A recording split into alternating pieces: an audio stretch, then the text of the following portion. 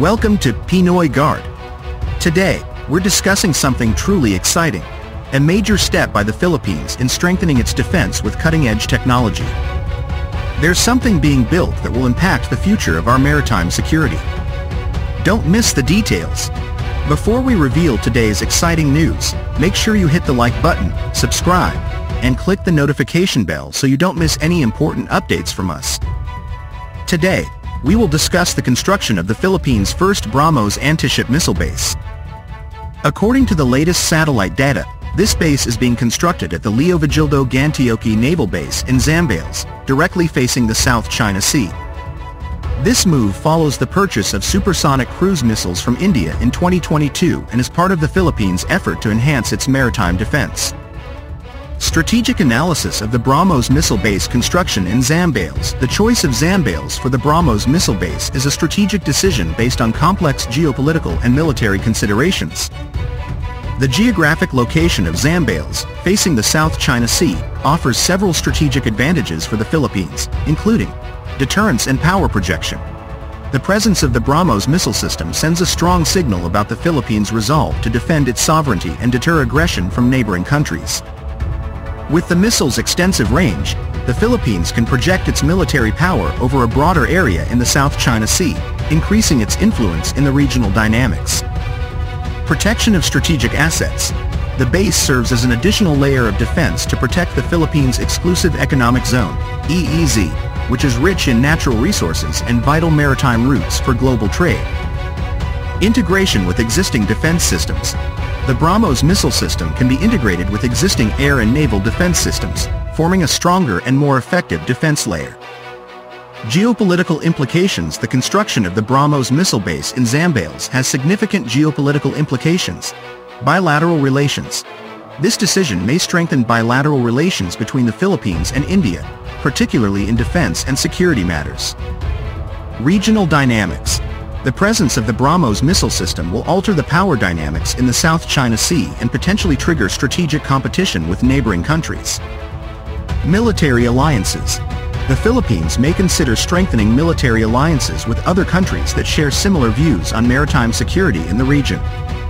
Challenges and opportunities While the BrahMos missile base offers many benefits, there are challenges that need to be addressed. Conflict escalation. The presence of offensive weapon systems could increase the risk of conflict escalation if not managed carefully. Dependence on foreign suppliers. The Philippines needs to ensure the availability of spare parts and technical support from India to maintain the operational readiness of the missile system. Maintenance costs. Operating and maintaining advanced missile systems requires substantial funding. History and specifications of the purchase in 2022, the Philippines ordered BrahMos supersonic cruise missiles from India as part of the Philippine Navy's shore-based anti-ship missile acquisition project. The $375 million sale includes three BrahMos missile batteries and technical support for the system, to be managed by the Philippine Marine Corps Coastal Defense Regiment. Base specifications. Location. The BrahMos base is located at the Philippine Navy's Leovigildo Gantioque Naval Base in Zambales, on the western coast of Luzon. This location was previously used for amphibious assault and coastal defense training. Facilities. The new base is situated south of the Philippine Marine Academy, replacing an area previously used for amphibious assault vehicle storage. Strategic implications enhanced defense capability, the base will enhance the Philippines' ability to safeguard maritime sovereignty and protect its EEZ in the South China Sea. Response to threats. With the BrahMos missile system, the Philippines can more effectively respond to potential maritime threats from China and other regional actors. Military modernization.